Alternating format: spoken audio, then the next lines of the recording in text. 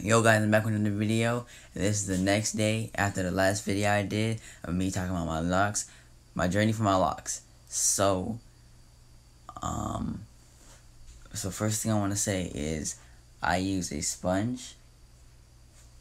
And last video I watched on how to get locks, uh, they told me to use a brush like this brush. So like this, hold up.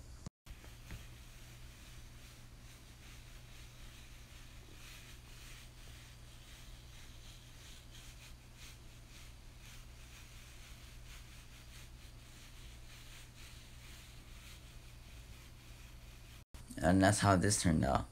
But then I before I was using I'm a keep on still using it. I would use a sponge. Watch this.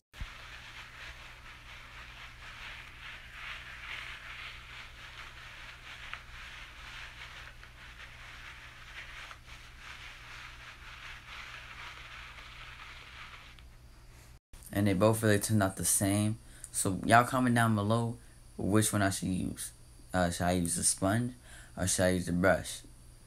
Um, and next, uh, next video, I'll talk about more about my locks. So that was this video.